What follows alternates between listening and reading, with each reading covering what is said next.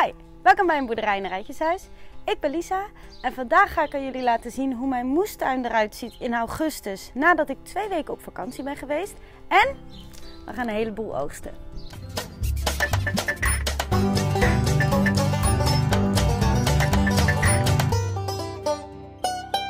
Ik ben net dus terug van twee weken vakantie.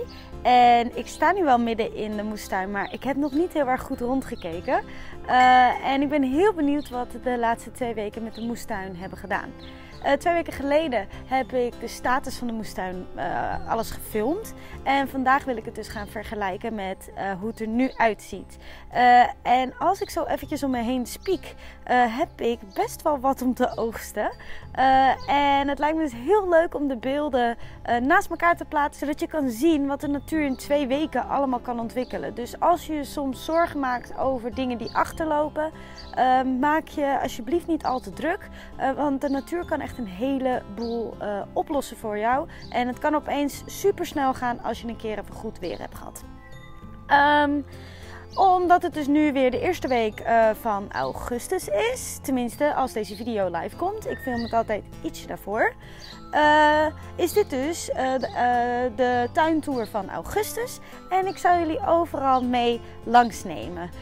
dit is mijn volle grondmoestuin verderop. Dit is dus niet aan mijn huis. Uh, en ik heb hier nog een moestuin, dat is de No-Dik tuin. Die is aan uh, die kant van deze tuin. En dan heb ik ook nog uh, een moestuin aan huis in mijn voor- en in mijn achtertuin. En we gaan vandaag alles bekijken. En laten we beginnen bij de grootste oogst, denk ik dan vandaag. Ik verwacht dat ik het meeste oogst zou hebben bij mijn spekbonen. Dus laten we daar eerst even gaan kijken. Dit zijn dus al mijn spekbonen. En twee weken geleden toen ik uh, wegging, waren er echt nauwelijks minuscule sprietjes. Echt alleen een paar stokjes her en der. En nu zit hij prop en prop vol met een heleboel mooie grote paarse spekbonen.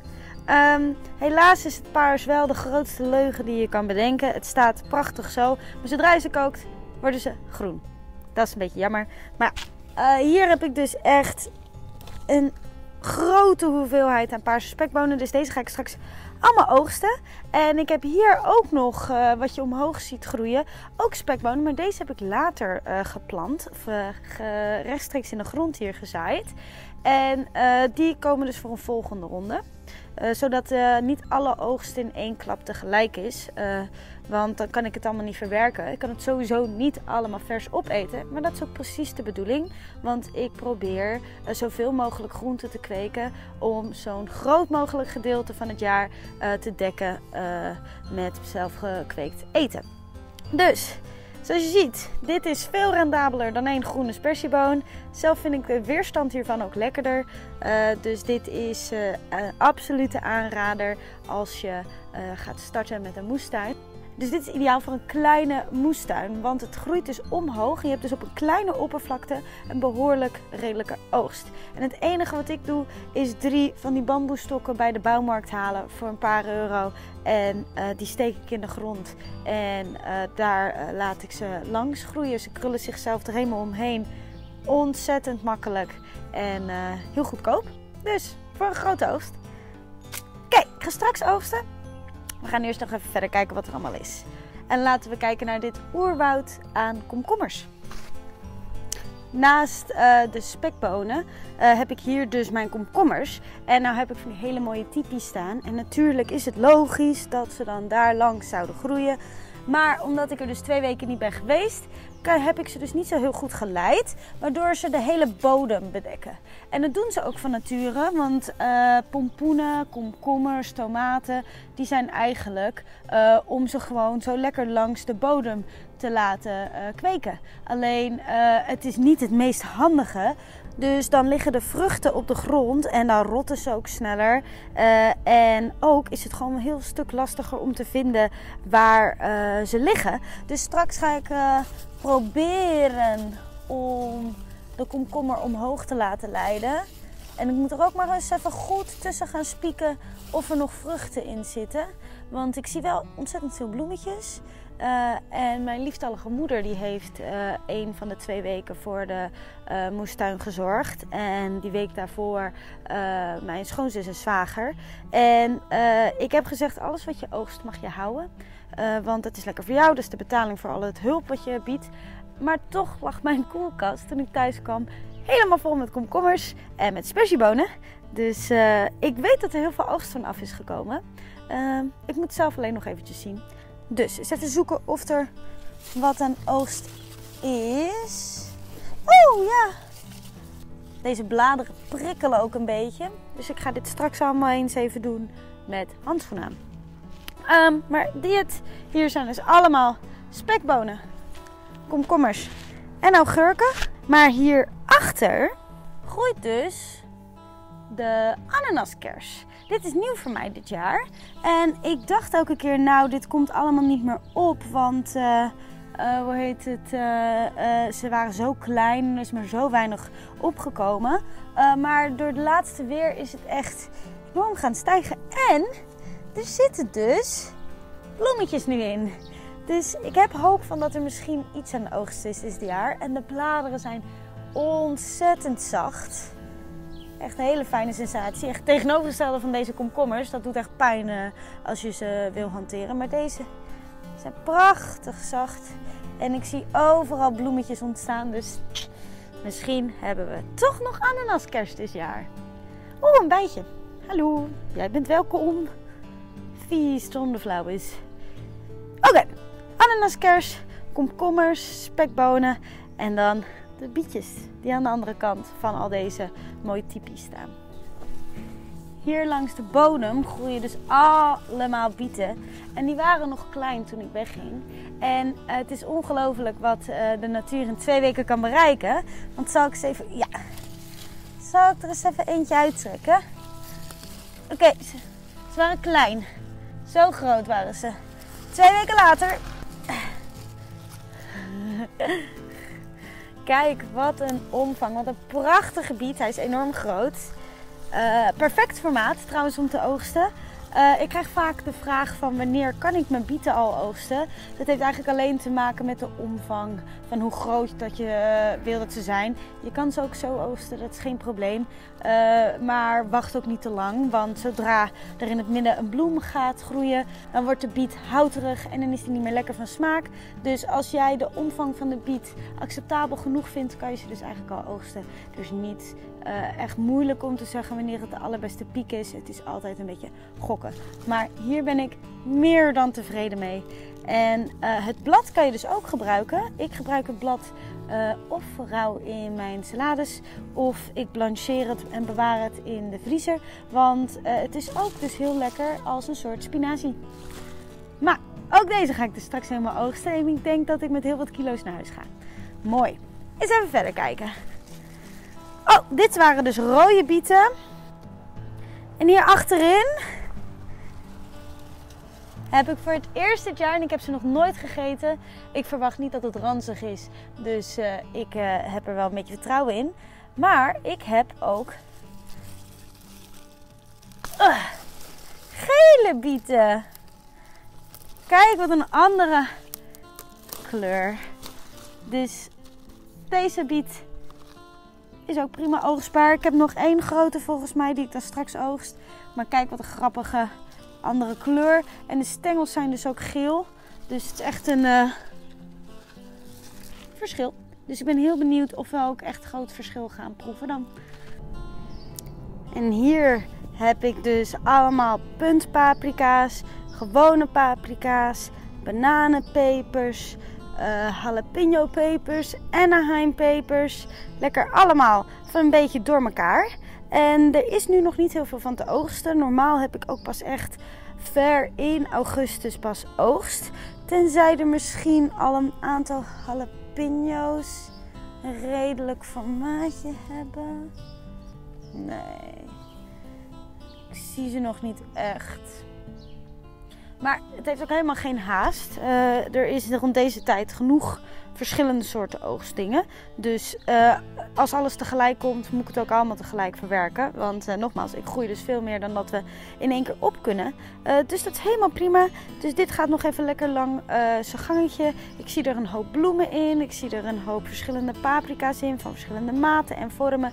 Dus dit laat ik gewoon lekker zijn gang gaan. En hier doe ik ook altijd heel weinig aan. Misschien even het onkruid hier tussendoor er weer weghalen. En zo nu en dan water geven, maar meer doe ik eigenlijk niet. Dan hiernaast een ravage in combinatie met prachtige grootheden.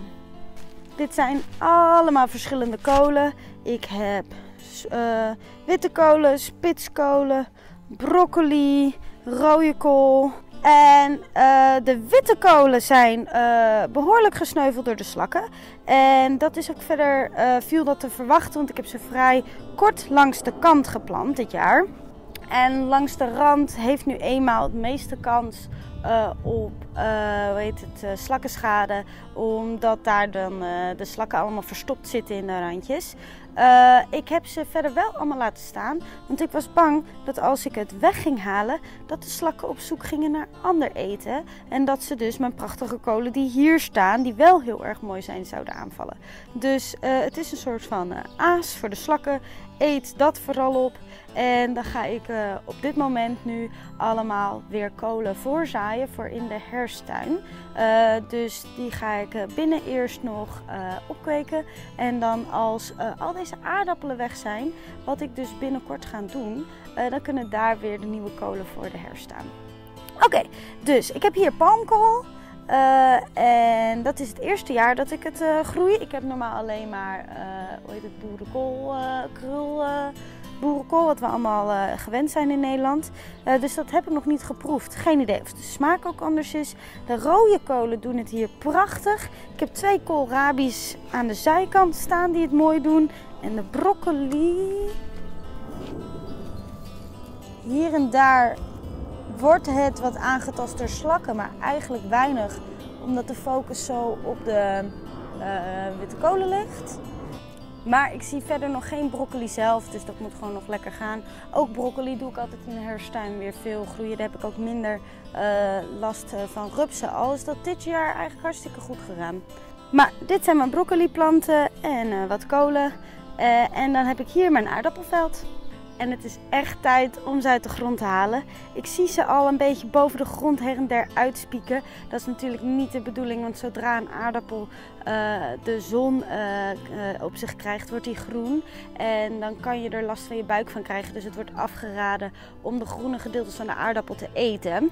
Um, het begint langzaam af te sterven en dat is eigenlijk precies wat je wil van een aardappelplant. De aardappelplant wordt eerst mooi groen, dan creëert hij bloemetjes.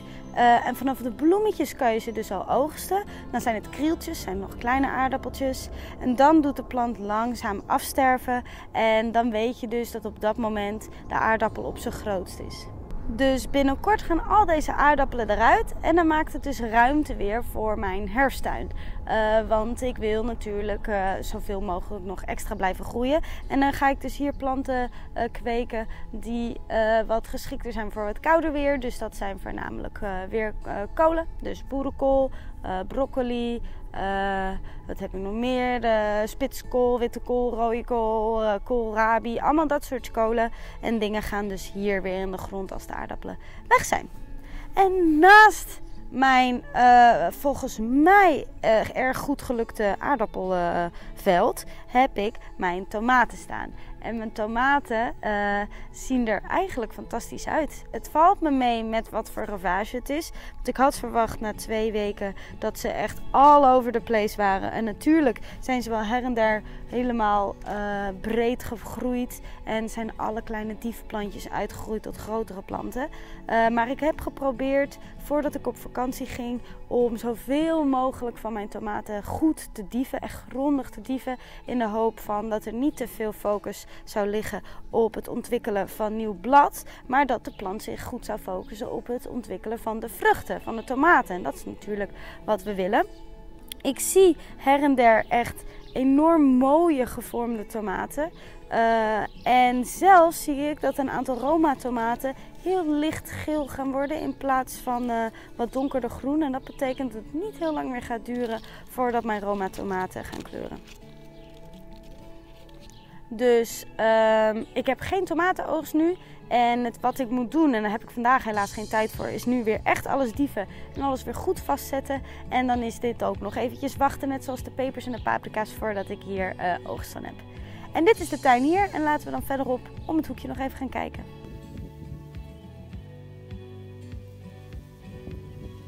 En hier is mijn no-dig moestuin met mais. Kijk hoe hoog de mais is geworden in twee weken.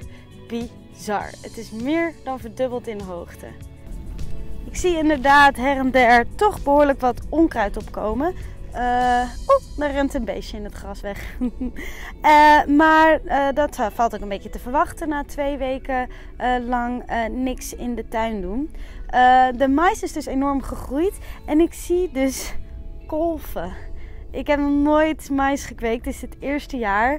En ik heb er nul ervaring in en ik heb ook eigenlijk dus heel weinig kennis van. Maar ik zie dus dat de kolven gaan ontstaan met de kwastjes en de dingen. En volgens mij doet het wat het hoort te doen. En uh, dit was een onderdeel van de Drie Zussen moestuin. En uiteindelijk is het veranderd in een twee zussen moestuin. Uh, ik had namelijk ook courgetten die de bodem hieromheen zouden moeten gaan bedekken om de aarde te beschermen tegen onkruid en uitdroging door de zon. Alleen de courgetten deden het dit jaar heel slecht en het was ook een beetje mijn schuld uh, omdat ze meer water nodig hadden. Uh, maar naast mais heb ik hier dus ook bonen gekweekt die dus langs alle maisstokken hier omhoog kunnen krullen en groeien.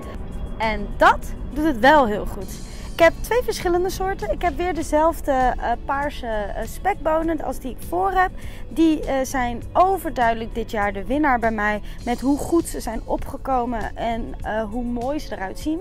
en ik heb ze aan deze kant heb ik dus de paarse spekbonen. En aan de achterkant heb ik een paar groene stokbonen. Ik weet even niet uit mijn hoofd welke soort dat was. Die is wat minder opgekomen. Heeft het minder gedaan. maar er zijn er wel een aantal. Dus het echt grappig om te zien dat de bonen zo vloep, vloep, vloep overal tussen het mais omhoog uh, kruipen. En ik zie dus ook dat het eigenlijk hartstikke makkelijk oogstbaar is, zo langs de rand. Ik had namelijk, uh, was bang dat het helemaal... Ja, zie je, de koe was ook bang. Um, bang dat het helemaal naar het midden zou gaan groeien, de bonen, of langs de bodem. En dat ik het dus niet makkelijk kon oogsten, maar dat valt me alles mee. Dus als ik hier even rondomheen loop, even kijken. Ja, er zijn een paar. Een paar uh, groene. Oeh, wat komt daar stof vanaf als je dit doet? Dat is natuurlijk nodig, nodig voor de bestuiving. Woe! Doe je ding, mais. Doe je ding. Oké, genoeg gespeeld. Um, ik zie inderdaad wat groene bonen naar boven kruipen. Niet al te veel. En dan hiernaast heb ik mijn uh, andere aardappelen die ik echt veel later heb gepoot. Ik dacht namelijk dat de mais een groot gedeelte van deze tuin zou bedekken. Want dit zijn 70 maisstokken. Uh, en uh, zoals je ziet, het dekt maar heel weinig grond. Dus ik had nog veel, vrije ruimte over. En ik besloot de aardappelen die ik over had in de grond te stoppen. ze zijn dus veel later de grond in gegaan en ze bloeien nu allemaal. Uh, maar ik betwijfel of ik hier überhaupt een uh, redelijke oogst van heb. Omdat ik en te laat was, waardoor uh, de plant heel snel zijn bloemetjes omhoog is gaan gooien. En ik denk dus dat er niet per definitie echt uh, grote aardappels onder de grond hier uh, aan het ontwikkelen zijn. Uh, maar wie weet verbazen ze me. Ik laat ze gewoon nog lekker een gang gaan en helemaal doodgaan. omdat ik ze dus zoveel mogelijk tijd wil geven om energie in die aardappels te stoppen. Om ze wat groter te laten worden. En hier achter me heb ik dus een aantal courgetteplanten. Uh, tijdens deze twee weken zijn ze echt wel uh, toch nog teruggekomen. En is er ook wat oogst van afgekomen als ik mijn lieftallige moeder moet geloven. Dus laat ik jullie weer even meenemen naar de rest van deze noodiktuin. Kijk, hier is dus de mais. En daar tussen het onkruid zit nog een heel klein courgetteplantje. Nou, dat gaat waarschijnlijk niks meer worden. Maar uh, wie weet, geeft de natuur een kans. Wie weet is dit gewoon een enorme laadbloeier. En wanneer alle courgetten klaar zijn, gaat deze het opeens fantastisch doen. Je weet het maar nooit. Daar is een plant die is het veel beter gaan doen. Dat was echt helemaal niks. En moet je kijken wat het nu is geworden. Dus een plantje van niks. Een plantje ook van weinig. Ook van weinig. Maar deze zijn hartstikke mooi geworden. Twee mooie grote courgetteplanten. En heel veel courgetteplanten wil je toch niet hebben. Want uh, ze pompen courgetten alsof het niks is. En uh, er zijn er maar zoveel courgetten die ik uh, op kan. Dus misschien is dit gewoon hartstikke prima. Um, hiernaast zitten dus al mijn aardappelen nog. Best wel een hoop wat hier nog in is gegaan. En ze zitten mooi in bloei. Dus uh, dit is weer dus een kwestie van wachten. Uh, geeft het me überhaupt wat? Maar omdat ik nu toch al een enorme oogst waarschijnlijk heb in het voorste gedeelte van de moestuin, heb ik deze aardappelen uh, voor een lange tijd waarschijnlijk niet nodig. Oké, hier de courgette. Er zit dus al een mooie courgette in, die zal ik straks meenemen. Oh, ik ben zo blij met mijn oogst. Dan heb ik hier weer twee rode kolen, wat pak choy en wat witte kolen. Oeh, de pak choy is hier een bloemetje omhoog gaan gooien. Dat betekent dus dat het te warm is geweest. Ik hoop dat uh, het blad dan nog wel lekker is om te eten. Dus hier ga ik maar denk ik een hoop van oogsten en lekker stir-fryen. Um, grappig dat dit ziet er echt precies uit Zoals de bloemetjes van de broccoli. Natuurlijk zit het allemaal in dezelfde familie. Uh, of in ieder geval, uh, voor zover ik weet. Misschien uh, praat ik wel allemaal aan koek. maar het ziet er dus echt hetzelfde uit. Um, er zaten allemaal kleine springkevertjes in mijn pak choy. Vandaar zitten dus ook heel veel gaatjes in. Maar de plant is niet dood gegaan. Dus um, ja, blad met gaatjes is ook blad. En uh, waar, uh, waar het naartoe gaat, gaat het toch helemaal kapot. En dat is in mijn buik. Dus dat maakt uh, naar mijn mening allemaal niet uit. Wel even goed wassen natuurlijk. Zodat ik niet extra proteïne binnenkrijg van deze springkevertjes. En dat was het dan voor hier in mijn moestuinen verderop. Dan heb ik ook nog moestuin dus aan huis. En laten we daar dan eens even gaan kijken wat daar de laatste twee weken is gebeurd. Zo, nu staan we bij mij in de voortuin bij de moestuin. En uh, hier is ook best wel wat veranderd. En het eerste wat mij opviel is dat mijn druivenstruik, die uh, is uh, enorm gaan uitdijen. Maar wat er ook is gebeurd, ik herken, of ik herken, dat is het probleem, ik herken het niet. Ik zie dat er volgens mij een ziekte in mijn druif zit. Mijn druif wordt langzaam grijzig, een beetje stoffig lijkt het wel, maar je kan het niet echt wegpoetsen. Ze zijn nog wel stevig en uh, het ziet er een soort van gekkig uit. Uh, en ik zelf kon online uh, halvig maar vinden wat het eventueel kon zijn. Dus ik dacht, ik vraag het ook even aan jullie. En of jullie tips hebben over wat ik kan doen om nog mijn druiven eventueel te redden. Want uh, bovenin is alles nog wel helemaal gezond. En ik wil natuurlijk wel wat druiven hebben dit jaar om wijn van te maken. Dus ik hoop echt dat het toch nog te redden valt. Dus dat is het eerste wat me opviel. Het tweede was, is dat mijn aardbeien een tweede leven hebben gehad. Ze zijn weer opnieuw helemaal opgebloeid. Uh, het staat vol met groen, heel veel nieuwe bloemetjes en zelfs nu alweer wat rode aardbeien. En de aardbeien zijn ook veel groter. Uh, de vorige aardbeien die goed waren, die waren super klein. Uh, en ik dacht dat ze eigenlijk al klaar waren. De hitte die er toen was, die heeft ze ook een beetje gestopt, uh, laten stoppen met groeien. Dus ik dacht, dit is het voor het seizoen. Maar uh, gek genoeg is er dus weer helemaal leven ingeblazen. En uh, heb ik hopelijk dus nog steeds een grote aardbeienoogst. Verder is er niet heel veel dingen uh, opgevallen. Uh, ik bedoel, de, de spersiebonen. Er was een behoorlijke spersiebonenoogst toen ik op vakantie was. Dus degene die op mijn tuin paste, die hadden lekkere spersiebonen thuis. Uh, uiteraard zijn mijn slaapplanten doorgeschoten. Dat komt gewoon door de hitte. dat is heel normaal, dat had ik verwacht.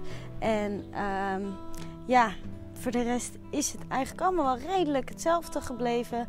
Uh, niet zo dramatisch als in de achtertuin. En dit is de achtertuin. En in de achtertuin heb ik een beetje heel erg verdrietig nieuws. En het is echt net gebeurd. Uh, ik zei al, uh, filet, ik ben aan het praten, shus, Uh, ik zei net al, het heeft goed geregend net, daarom zijn alle bladeren nu nog nat. En voor de regenbui stond deze uh, cherry tomaat nog overeind. En nu is die helaas door de hoeveelheid uh, regen is die geknakt. Ik ga kijken wat ik er straks nog een beetje van kan redden. En uh, op zich is de natuur, kan dit zichzelf fantastisch heel snel herstellen. Dus ik weet dat ik me niet zorgen hoef te maken, maar het is natuurlijk altijd heel erg zonde om het te zien. Maar voor de rest, de tomaten zijn dus allemaal geëxplodeerd. Zoals je ziet, ze zijn vet hoog gekomen. En ze waren allemaal nog niet zo vol en groen toen ik wegging twee weken geleden. En de tomaten zijn ook echt heel veel groter geworden. Dus dat is uh, erg leuk om te zien. Zelfs de braam, uh, de eerste braam die daar stond, die... Um, die was een beetje doodachtig, maar ik dacht, oh, dat komt volgend jaar wel weer goed. Maar nu zit hij eigenlijk ook wel vol uh, in blad. Dus die is eigenlijk best goed bijgekomen. Maar nog steeds duurt het nog wel even voordat er tomaten echt rood-rood gaan worden. Dus hier is ook nog geen tomatenoogst. Zelfs niet van de cherry tomaten. Uh, ook al zijn die natuurlijk veel kleiner. Uh, dus die uh, rijpen veel sneller. Maar ik zie nog niet echt rijpe cherry tomaten. Um, en ik hoop dat ik dus überhaupt een groot gedeelte van deze cherry tomaat kan redden. In het hoekie heb ik eindelijk wat basilicum wat opkomt. Uh, eindelijk, want ik heb het al een aantal keer geprobeerd. Maar elke keer werd het, was het toch te warm of te weinig vocht en bla Maar nu is er eindelijk een uh, boel basilicum opgekomen. En als laatste hier van de achtertuin uh, is dat ook hier de ananaskers mooi is gaan exploderen. En ook hier zitten bloemetjes in. Dus ik ben heel erg blij met dat daar misschien nog wat oogst vanaf komt. En ik heb eigenlijk ook geen idee hoe een ananaskers proeft. Dus het is een beetje een wildcard. Wie weet vind ik het wel helemaal niet lekker. Heel erg bedankt voor het kijken. Dat was het dan alweer. Ben je nu nieuwsgierig wat ik met al deze oogst ga doen? Abonneer dan op mijn kanaal. Hier bij een boerderij en een rijtjeshuis deel ik graag met jullie hoe ik zelf mijn groenten kweek, oogst en verwerk, zodat we het hele jaar ervan kunnen genieten. Heel erg bedankt voor het kijken en tot de volgende!